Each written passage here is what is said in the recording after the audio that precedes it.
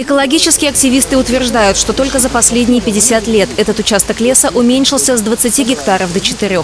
Если и дальше продолжать бездействовать, от липовой рощи скоро совсем ничего не останется. Мы обратились а, к губернатору для того, чтобы он, во-первых, обратил внимание на эту липовую рощу с целью того, чтобы создать экотропы на территории липовой рощи.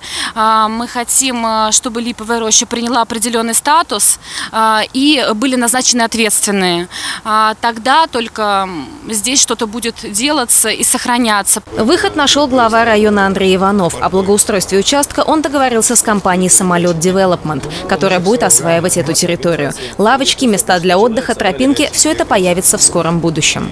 У нас напротив э, пляж, люди могут там купаться в летнее время, загорать и проводить свободное, свой досуг в свободное время, а здесь они будут гулять и получать удовольствие от э, чистой экологии природы. Мы, естественно, уберем эти свалки в ближайшее время своими силами.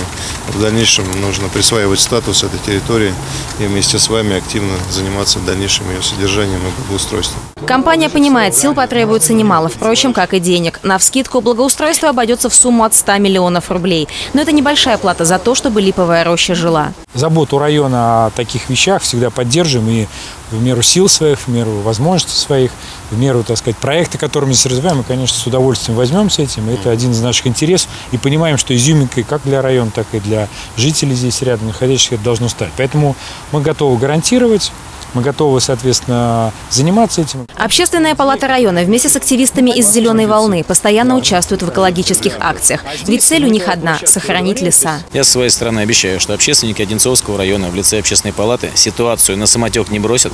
Будем э, работать в ежедневном мониторинге. Это место станет в любом случае экологической изюминкой Одинцовского района, не, а не тем, вот, скажем так, грязным пятном. Общественники Одинцовского района собственными силами вывезли отсюда 7 тонн мусора. Но это лишь капля в море. Огромное количество бытовых и строительных отходов еще захламляет липовую рощу. Собственными силами активистам не справиться. С пакетом в руках много не соберешь. Власти района обещали помочь. Заказать спецтехнику и вывести оставшийся крупногабаритный мусор. Ну а дальше можно начинать благоустройство. Анна Макарова, Леонид Бурдин, телекомпания «Одинцова».